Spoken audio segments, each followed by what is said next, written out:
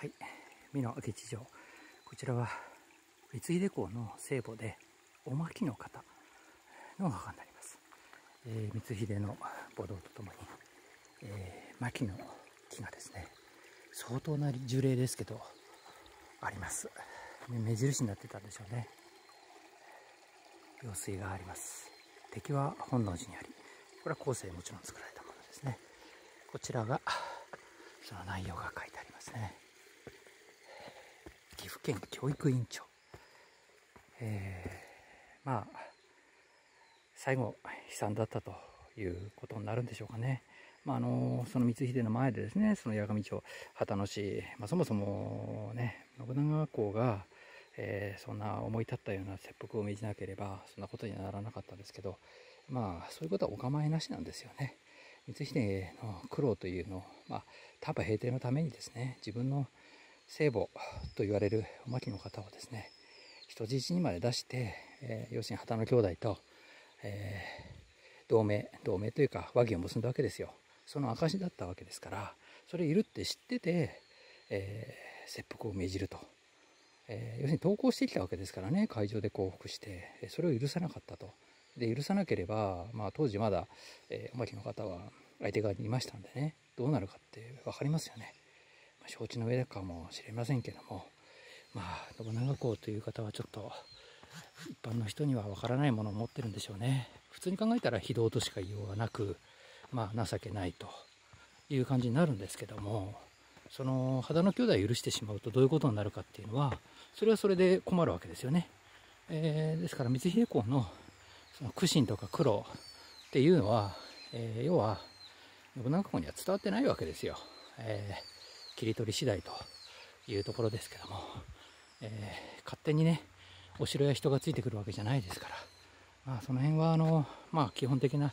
もう、極端に言えば信長公と光秀公の、まあ、人間性の違いというか、考え方の違いというか、もうどうにもならないですよね。まあ、その犠牲となったおまきの方、こちらの大木ですよ。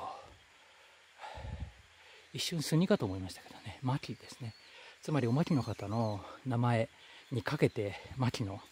えー、牧という木をですね、牧の種別ですね、の木を植えたわけですよ。さっき地元の方と話してたんですけど、まあ、年数も経ってますしね、まあ、あの、要するに徳川時代になってもですね、まあ、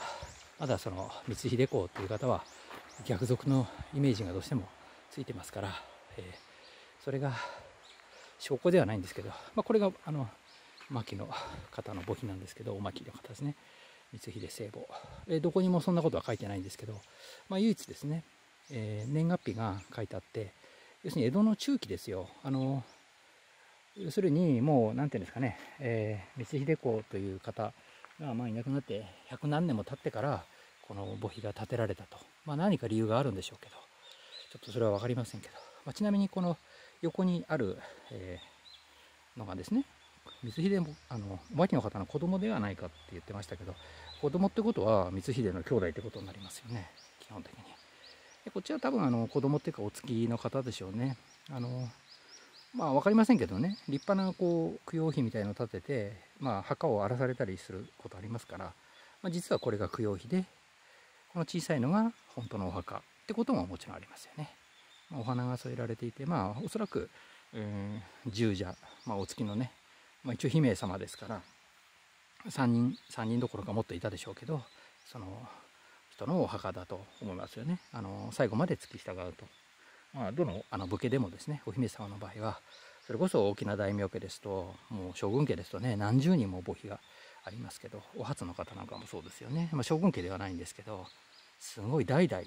えーえー、娘さんからそのまた娘さんへ引き継がれてとまあ一応これがですね、おまりの方の墓碑になっていますので、まあ気になるのはこの木がね、樹齢ですよね。